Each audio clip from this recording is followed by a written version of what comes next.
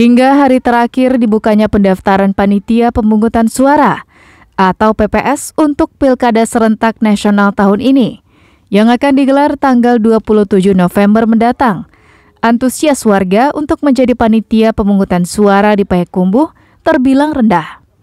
Dari jumlah dua kali kebutuhan yang mencapai 282 orang, pendaftarannya baru mencapai 251 pendaftar.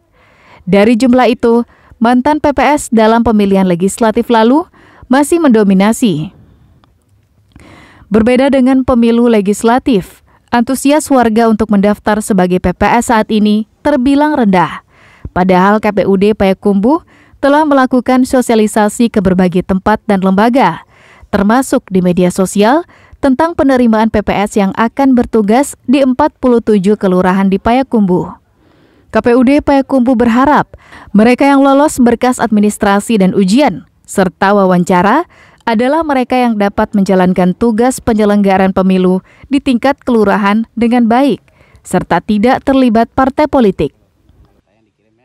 Sampai hari ini, hari terakhir pendaftaran yang akan kita tutup jam 23.59 nanti, eh, terlihat antusiasme masyarakat eh, itu masih sedikit berkurang karena dari 282 atau dua kali kebutuhan yang kita butuhkan hari ini baru sampai jam ini baru sekitar 251 orang. Dara Yulia, seorang pendaftar PPS untuk Pilkada Payakumbuh, mengaku tertarik menjadi penyelenggara pemilu sebagai calon anggota PPS karena banyak generasi muda saat ini yang ikut menjadi penyelenggara pemilu di berbagai tingkatan.